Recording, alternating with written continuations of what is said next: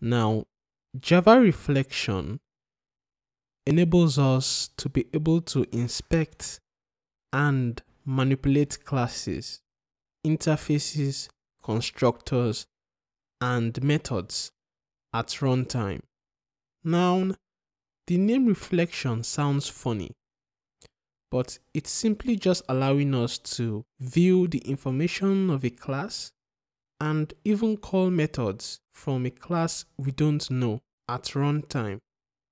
But we have a person class here. It has a field name and age.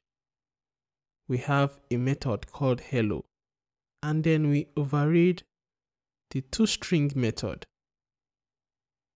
Let us go back to our main class and create a person object.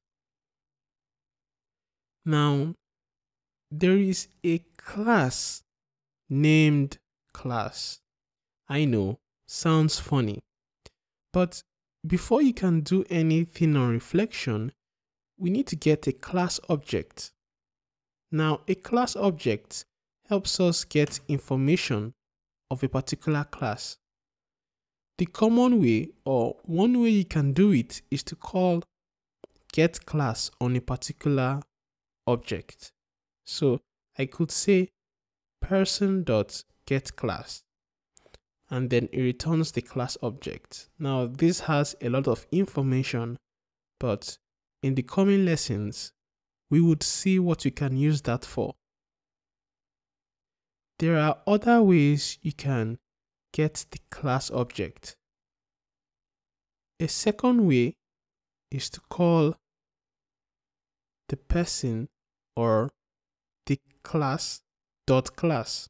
This is another way to get the class object using dot class extension.